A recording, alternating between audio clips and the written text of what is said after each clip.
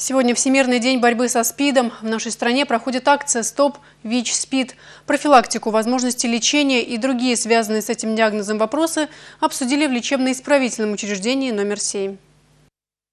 Рабочая группа Управления Федеральной службы исполнения наказаний по Чувашии провела День правовой помощи именно здесь не случайно. В ЛИУ-7 немало женщин, осужденных за преступления, связанных с наркотиками, а это один из кратчайших путей к СПИДу. Затронули вопросы профилактики и безопасности и другие темы. В составе правового десанта представители госструктур, налоговой службы, опеки и попечительства, адвокат, нотариус. Так что круг тем был достаточно широк. Такие дни правовой помощи в исправительных учреждениях на территории республики проходят регулярно.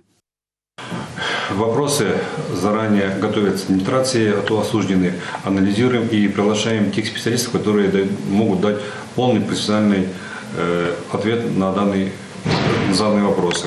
Но еще здесь польза в том, что напрямую из зала идет как живой диалог. Э, кто с вопросами может обратиться к любому специалисту из представителей органов власти, федеральных органов власти и напрямую получить тот ответ. Осужденные, а их собралось более 150 человек, смогли получить ответы на вопросы, касающиеся оформления генеральных доверенностей и завещаний, родительских прав, вступления в права наследства и многие другие.